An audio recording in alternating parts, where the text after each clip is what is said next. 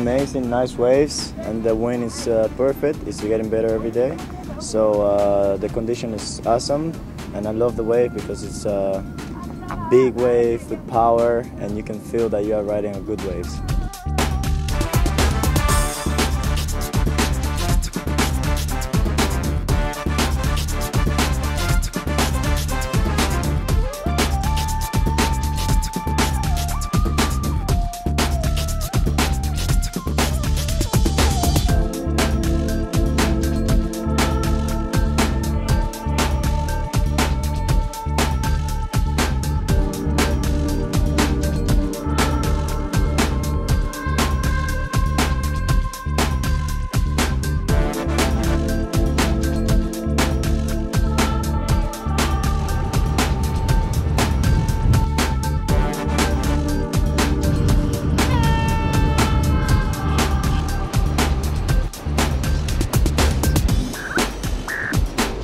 Think I got three good waves, so I'm very happy with the heat. So, but I I don't know the result, but I'm happy how I ride, so it's good.